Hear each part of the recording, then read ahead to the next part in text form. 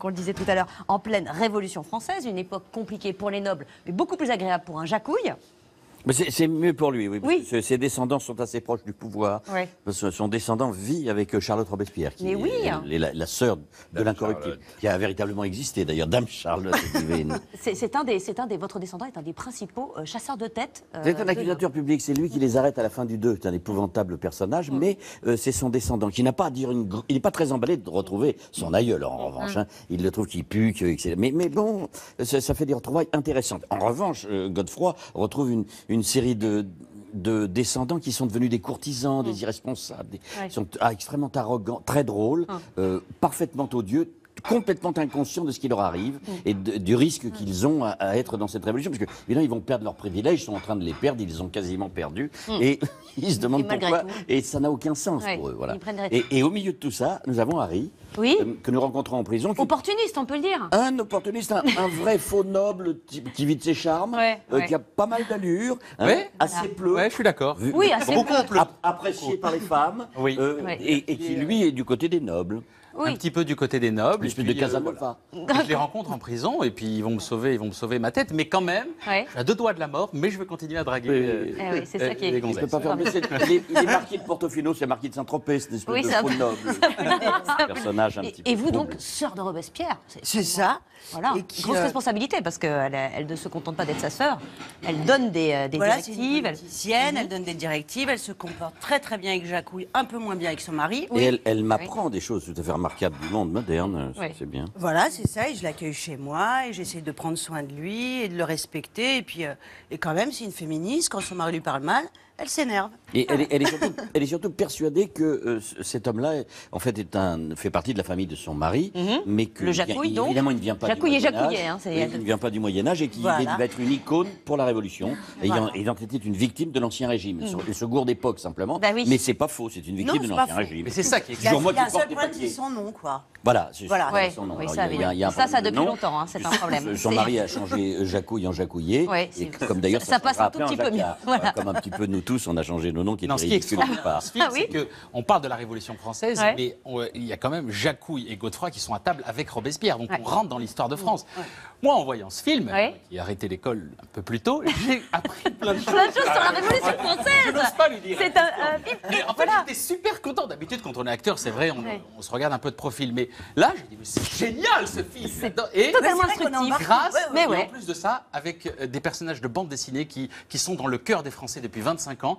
Donc je trouve que c'est un film que toutes les écoles de Devraient France recommander, bien devraient sûr. voir ce film. On regarde la bande-annonce. C'est l'histoire Un petit cours. de la lorgnette. hein, mais... Oui, oui, Oui. Un petit cours. T'appelles Jacques Couille. C'est qui la couille C'est le laquais de notre cousin autrichien et c'est une plaie.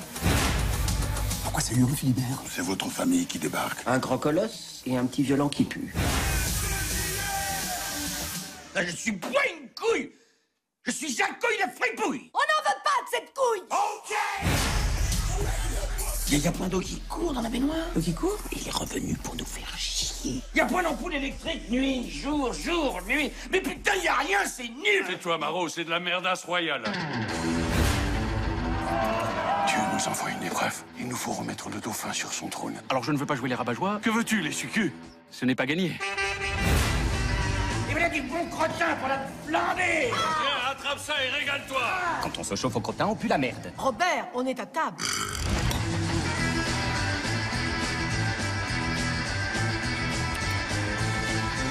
C'est un festival Tu vas te caper la grosse courge Ah, j'ai jamais senti ça de ma vie Remets-nous trois pichets, la vieille gueule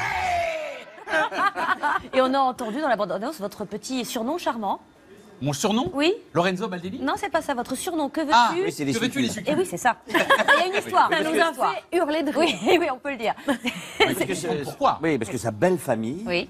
Euh, était chargée de- de- d'être près du roi lorsqu'il euh, gâté sur sa, sa chaise percée. Que le- Louis XIV a, rendu quand même les nobles des courtisans. Il leur donnait des fonctions, c'est éviter qu'ils fassent euh, les rebelles en campagne. Et donc, euh, voilà, ils avaient des fonctions qui étaient très importantes, un petit peu ridicules aujourd'hui. Oui, mais il y a une grande discussion de- de- dessus dans, dans- dans le film. Euh, bienvenue à notre table. Euh, pendant le, le dîner, nous allons écouter non pas un ménestrel, mais euh, l'album de Charles Bradley qui nous rejoindra tout à l'heure et, et qui nous fera un petit live. Et nous allons déguster le plat de Babette. Il a du coffre, lui. oh Il a du coffre, Ah oui. Un grand live. oui, oui. Un grand live. C'est une petite paella mixte avec de- du poulet et des fruits de mer, tout simplement. Et Voilà. des légumes qui sortent. C'est formidable. Ah, ça a l'air très bien. Ça a l'air très bien. Ça a l'air très bon. Babette a craché dessus. Mais oui. Euh, Christian, ne vous précipitez pas tout de suite dessus. Vous allez, vous allez devoir quand même parler. Je suis, Ah, je suis parfait, désolée. parfait, parfait, Quel, a été le déclic pour vous? Qu'est-ce qui vous a donné envie de vous relancer dans l'aventure euh, des visiteurs? Parce que vous l'aviez abandonné pendant euh, 18 ans, c'est ça? Oui, oui, oui, oui, on- euh, ben, je pense que l'aventure américaine nous avait déçus, donc on a laissé passer du temps, on a fait d'autres choses, Jean-Marie et moi, ch- chacun de notre côté. Et puis, euh, euh, il y a- moi, il y a eu plusieurs déclics. Le, le fait de me retrouver dans le bon Dieu avec une autre génération d'acteurs, Ouais. d'actrices, ça m'a beaucoup régénéré, ça m'a, ça, ça donné une- beaucoup d'envie. La révolution, c'est un sujet auquel- autour duquel on tourne beaucoup euh, euh, avec Jean-Marie depuis longtemps. C'est- le sujet principal des visiteurs. Dans le premier, euh, Godefroy est effondré parce que le château n'appartient plus à sa famille. Et ben, on explique comment ça se passe. Et le, moment où ça se passe, c'est le moment où la famille de Jacouille prend le château à- à- à- à- aux descendants de Montmirail. C'est la Révolution française. C'est le, le basculement important. Et puis, c'est une époque extraordinaire d'invention, de créativité, de progrès. Tout change. Il y, y a plein de choses positives. Et puis il y a Robespierre. Robespierre, c'est le, c'est le, c'est le vrai méchant. hein, c'est- c'est celui qui, qui nous dénature un peu cette révolution et, et qui rend le, le- le moment extrêmement dur, extrêmement dangereux. Donc il y a de l'aventure aussi. Alors les visiteurs, c'est un film d'aventure, c'est un film de, de, de- de voyage dans le temps, d'aventure et de comédie. Donc euh, Il y a tous, tous les ingrédients dans la révolution. J'adore, j'adore comment il en parle. à ce moment-là, j'ai dit, j'ai dit à Jean-Marie, pour- pour- pourquoi on n'y va pas, pourquoi on fait pas ça Et surtout, euh, on, on va pas se retrouver dans le fait de faire une suite-suite, de, de- comme si on était cinq ans après sous une pression commerciale. On va faire, on, on va garder. Et, J'en prie, Louis, il est Il y a un mec qui va cracher. Voilà. il pas a. Et C'est vous, hein. Ils sont de mèche, Oui. euh, tous les deux. Mais ils sont de mèche, oui. Ouais. Ça vient Les Bonnie and Clyde. Les Bonnie and Clyde. du crachat. Alors, euh, Non, mais Harry est fan, il, vous, il boit vos paroles. Vous le comparez à Raphaël Nadal, Christian Clavier? Je le compare à Raphaël Nadal si j'étais joueur de tennis. J'ai fait beaucoup, beaucoup de tennis jeune. Oui. C'est- Mais Non, mais il dit que, jouer avec vous, c'est comme jouer au tennis avec Raphaël Nadal. Évidemment, parce pas que de le dire. Christian est un, immense acteur comique parce qu'évidemment, il fait partie de ces acteurs qui m'ont donné envie de faire ce métier. Merci. Et pour Voilà. Merci. Voilà. Non, mais Ça y a est. une petite enveloppe à ce Oui, moment-là. c'est ça, j'imagine. lui, et, et, euh, et pour lui, l'humour, c'est sérieux, quoi, c'est tout. Et là, dans ce film-là, c'est vrai qu'il a réussi à faire ce qu'on avait fait dans Le Bon Dieu, c'est-à-dire mélanger l'ancienne et la nouvelle génération, Génération. comme il avait fait dans Papy fait de la résistance avec Maillan, Ouais. avec euh, Galabru. Nouvelle génération, on fait partie. Sylvie, Oui, votre et- premier vrai grand rôle comique. Oui, c'est vrai, mais c'est c'est vrai ce que dit Harry, c'est c'est hyper agréable de jouer et- avec et- lui. et elle est géniale C'est très précis, mais surtout on dirait un gamin, quoi. Immédiatement, dès qu'il y a une connerie à inventer, on voit son œil qui s'allume, il invente toutes les conneries, il les chope et il les, il les met, quoi. Ce qui fait que si on se laisse entraîner, on est dedans. Et vous êtes est allés à fond. quoi. Ouais. Mais c'est ça exactement, c'est Mais tous, les deux, il vous Nous, est arrivé de dire. euh, De toute façon, c'est lui qui tient le truc. Tous les deux, il vous est arrivé un jour de dire euh, OK dans, dans une conversation des années 90. Tout le temps. euh, oui, c'est ça. C'est rentré totalement dans votre langage.